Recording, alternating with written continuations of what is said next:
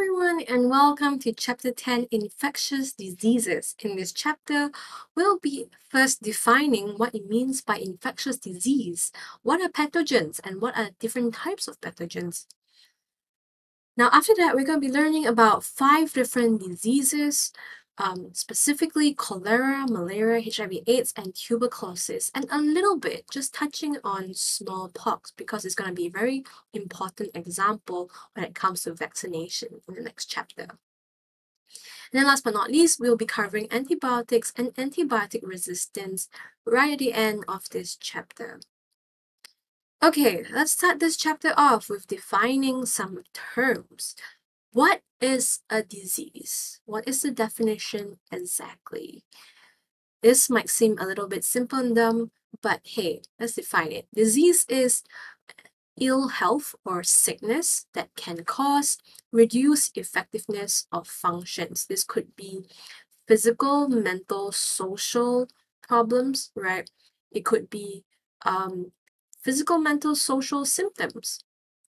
Now, so mental health illnesses like depression is considered a disease at some point that because it causes reduced effectiveness of mental or social functions.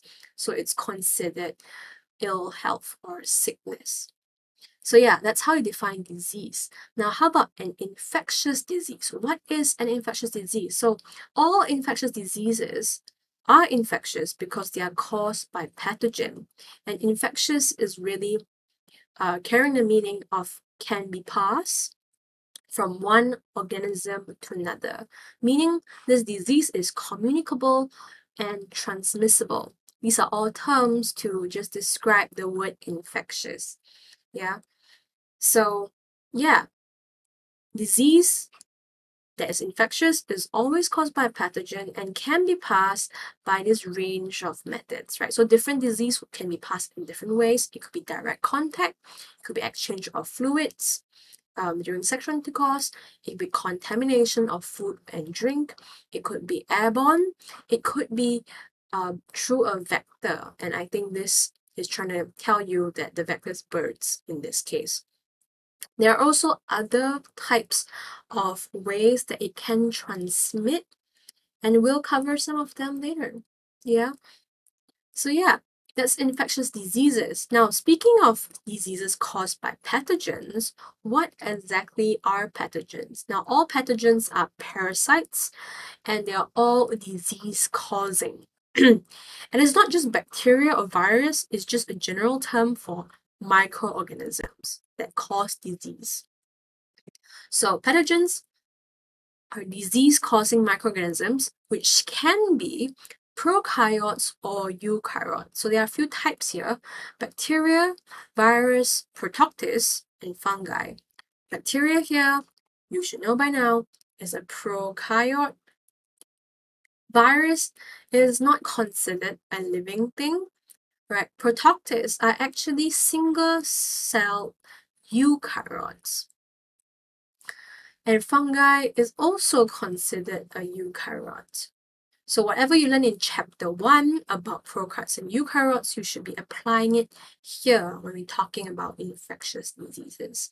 But let's talk about them in general first. What do they all do? So pathogens, which are parasitic disease-causing microorganisms, uh, usually go through this kind of general pathway. they all gain entry to the host at some point, colonize host tissues, and maybe multiply a lot. And then it could maybe damage the host tissues and take up space, and maybe in some form resist the host defenses. So if we want to reduce the spread of an infectious disease, or say um, kill the pathogen, then we need to find a way to break its disease transmission cycle. So break the disease transmission cycle, how? Well, so maybe stop it from multiplying, maybe use a drug or prevention method, maybe stop it from damaging host tissues in some form, or even stop it from passing on. So stopping any one of these steps, right, or preventing it from passing on would be breaking the cycle and therefore the disease will stop spreading. Yeah. So back to pathogens. What are pathogens again? Parasitic disease causing microorganisms, which could be prokaryotes or eukaryotes. And these are different types we kind of uh, talked about just now as well. This here is a virus, and it's quite a nice picture really. Okay, this here is a bacteria, which is a prokaryote. Now, Protoctis, just in case you don't know what I'm talking about, there are unicellular eukaryotes, and you actually know a few already. These are some example of protists. They're not, they don't cause disease, um, but these are some examples. Amoeba, Chlamydomonas, some familiar, Paramecium, Euglena. These uh, are unicellular eukaryotes because they have a nucleus and they have like animal cell-like structures, but they are not animal cells. They're not plant cells. They're not fungi. They are just protists or protoctists. It's their own category. Okay, so virus, bacteria, protists, what else? Fungi. Fungi are considered eukaryotes as well, and I think when you think of fungi, you often think of mushrooms um, and stuff, but they are also um, disease causing fungus so that can grow on your skin most likely. Uh, we're not going to talk about a lot of fungi here, but we're going to do a little recap on viruses and bacteria, slight small recap, and also um, later on talk a lot more about an example of a protist. So let's do a little recap first. Recap of viruses. Viruses are very tiny and it's a very simple structure. It's a non-cellular structure, no plasma membrane, no cytoplasm, no ribosomes, no organelles. They only have three things, three layers from the innermost thing. The innermost thing is a RNA or DNA, some form of nucleic acid. It's surrounded by a protein coat, which is called a capsid, which is then surrounded by a lipid envelope, which may have proteins on it and this spikes here shown um, could be, you know, viral proteins. Um, some proteins that you may know or heard of a little bit is hemagglutinin and neuraminidase. Scratch that, neuraminidase. Uh, and when you talk about influenza proteins, okay, when you talk about influenza, it's named like H1N1, right? H here is actually referring to hemagglutinin. And here it's referring to neuraminidase. Now we know. So yeah, these are proteins that may be present on a virus. Okay, not necessarily, but these are some examples. Yeah, but basically three simple things, DNA RNA, capsid, and then lipid envelope on the outside. Okay, now how do they reproduce? How do they function? Now, they can only reproduce by infecting a living cell, and we can see here how the virus binds, incorporates the viral DNA or RNA into the cell, sometimes even incorporating it into your DNA randomly, and then using your cell to produce uh, proteins. So use the host cell's ribosomes, ER, Golgi, right? All of these organelles in order to produce its own proteins who produce more viruses as a result. So this is one of the reasons why it's considered a non-cellular thing. And that's because it has to rely on the host cell in order for it to replicate. It cannot replicate on its own. It has to rely on your cell to replicate. So that's a little recap of viruses. I know it went really fast. We already covered it in chapter 1 though, so go back and look for more detail. Let's talk about bacteria. Bacteria is a typical example of a prokaryote we're looking at. Uh, and what bacteria do not have is membrane-bound organelles. It also does not have a nucleus. DNA just lies through the cytoplasm in what we call the nucleoid region.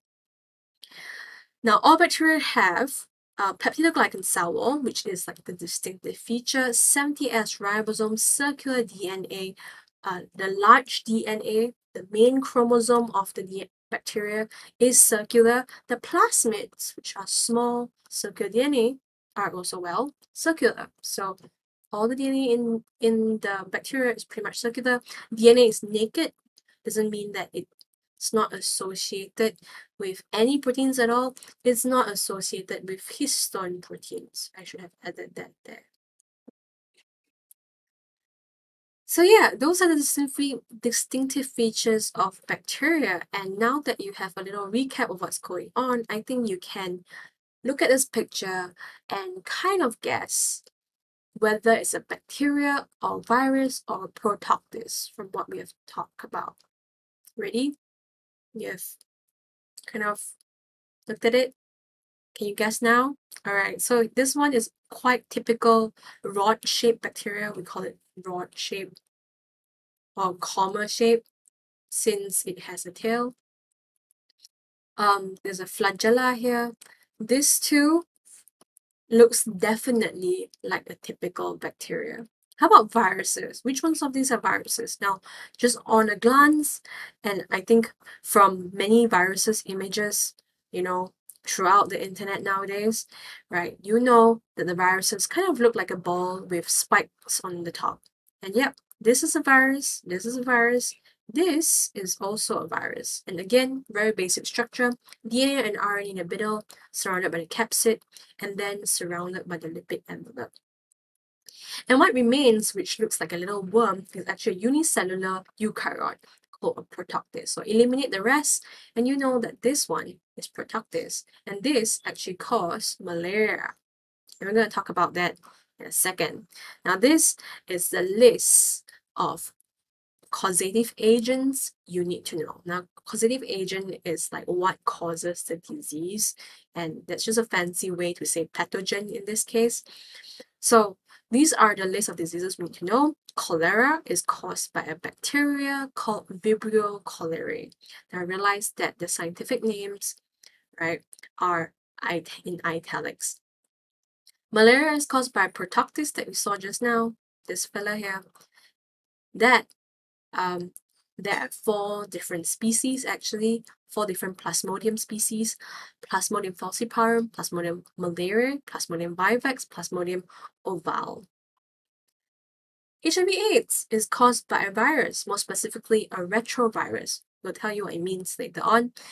Um, and this virus is called a human immunodeficiency virus. So HIV stands for this. Tuberculosis caused by bacteria called Mycobacterium tuberculosis. However, there's another species that spreads slightly differently called Mycobacterium bovis. And last but not least, we have smallpox, which is caused by a virus. And the virus name is called variola. This is the name of the genus, right? That's okay. Just refer it to refer to it as the variola virus.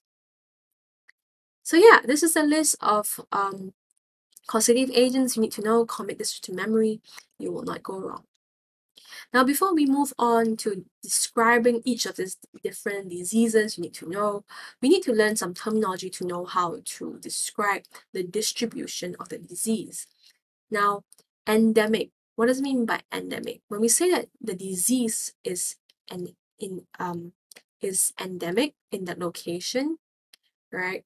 Or for example, malaria is endemic in Africa, this means that disease exists permanently in that particular region or population. Epidemic. What does it mean by epidemic?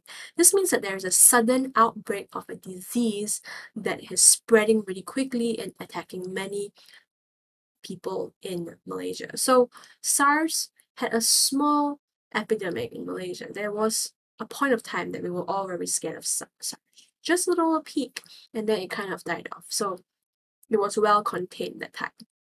Now, the worst of this is a pandemic, when an epidemic spreads throughout the world. For example, HIV AIDS, once upon a time, is considered a worldwide pandemic. And I should really change this and update it to the current times and say that COVID 19 is a worldwide pandemic and affecting everyone throughout the world. However, Speaking of COVID 19, um, a lot of countries are starting to get vaccinated, get their populations vaccinated and starting to not count the numbers so often anymore and starting to treat COVID-19 as an endemic instead of a pandemic, which means maybe as a society we have accepted that we will have low numbers of COVID-19 all year round, all the time in worldwide. So it's maybe it's uh, endemic in that region population. So yeah, these are ways, these are this terminology to describe the distribution of disease. Um, and you will see these words pop along when you are doing questions and reading slides and reading notes as well. And yeah, that's kind of it for this video. We have established the definitions, the types of pathogens, the terminology. In the next few videos, we're going to cover one disease per video.